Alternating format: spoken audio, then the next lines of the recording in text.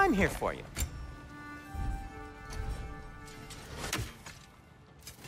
Whatever you need, I'll create.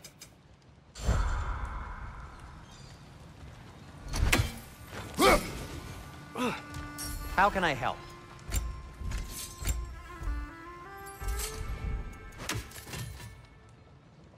Well, if you change your mind,